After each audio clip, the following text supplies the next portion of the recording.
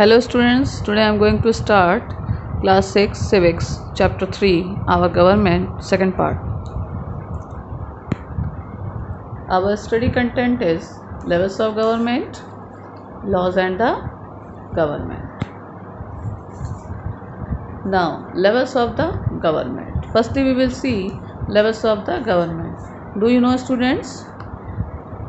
There are three levels of government in our country do you know? Number first is union or central government. Number second is state government. And number third is local self government. Now union government is also known as central government. This is the government at the center and it takes major decisions of governance for the entire country. The central government is the government of the whole country and looks into the affairs of national importance like defense, railways, nation development, and so on. It also has power over the states.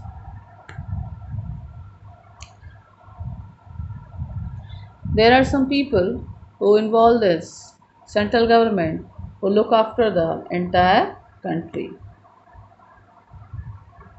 For example, President vice president, prime minister, and many other ministers, those who look after their departments. They all are included in central government. Number next is state government. Each state has its own government. This is the second level of government.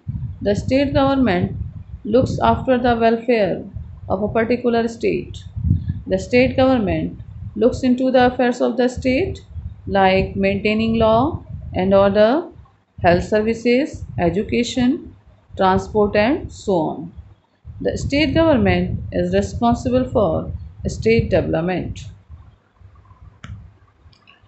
And number last is local self-government. People living in villages, towns and cities form their own government to look after their local needs. It is also called the local self government.